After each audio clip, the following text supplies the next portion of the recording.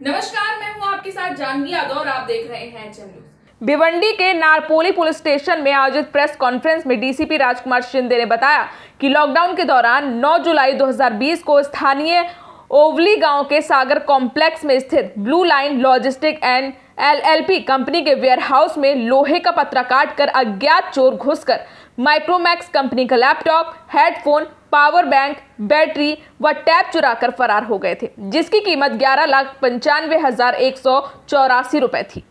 बता दें कि इस बड़ी चोरी के बाद नारपोली पुलिस ने अज्ञात चोरों पर सीआर नंबर तीन सौ तिरपन बटे बीस में आईपीसी की धारा चार सौ चौवन व तीन सौ अस्सी के तहत केस दर्ज कर आरोपी की तलाश शुरू कर दी थी। पत्रकार परिषद के दौरान डीसीपी राजकुमार शिंदे ने बताया कि इसी दरमियान थाने के नगर पुलिस स्टेशन की हद में एक व्यक्ति के पास से छह लैपटॉप बरामद हुए हैं, जिसके बाद सहायक आयुक्त नितिन कौसडीकर नारपोली पुलिस स्टेशन के सीनियर पीआई मालोजी शिंदे के मार्गदर्शन में जाँच पथक ने जब आरोपी को पकड़कर कड़ाई से पूछताछ की तो उक्त चोरी की घटनाओं से पर्दा उठ गया। डीसीपी शिंदे ने बताया कि आरोपी का नाम आलम मंटू शेख है, जो कि झारखंड का रहने वाला है, जिन पर मुंबई व थाने में कई बड़ी चोरी का मामला दर्ज है। उनके पास से पुलिस ने आठ लाख चौंतीस हज़ार का चोरी का सामान बरामद किया है। डीसीपी ने बताया कि इस चोरी की घटना को तीन लोगों ने मिलकर अंजाम दिया था। दो अन्य की तलाश जारी है और जल्द ही इस मामले में बाकी के आरोपियों को हिरासत में ले लिया जाएगा।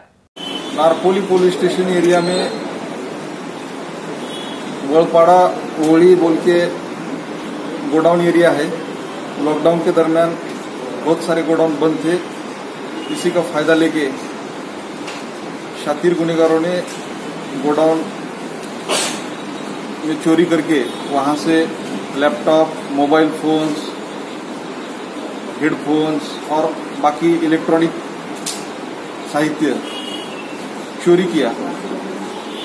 और वो साहित्य झारखंड, यूपी, नेपाल यहाँ वे बेचने वाले थे। लेकिन नारपोली पुलिस स्टेशन के इन्वेस्टिगेशन टीम को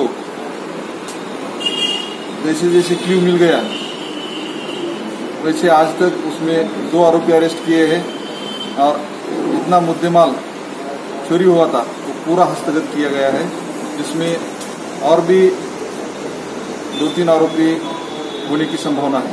हाल फिरियाद के अनुसार ग्यारह लाख पिचानवे हज़ार का था, लेकिन अब तक आठ लाख चौंतीस हज़ार रुपये का मुद्देमाल हस्तगत किया गया है। जिसमें मोबाइल्स है, लैपटॉप्स है, headphones, power bank, battery, tab, इनका समावेश इन्वेस्टिगेशन में ये सामने आया है कि ये चोरी करके झारखंड, यूपी और नेपाल बॉर्डर के बाहर भी बेचने वाले थे। यही अभी तक सामने आया तो ये थी हमारी आज की खास रिपोर्ट इस तरह खबरों के लिए देखते रहिए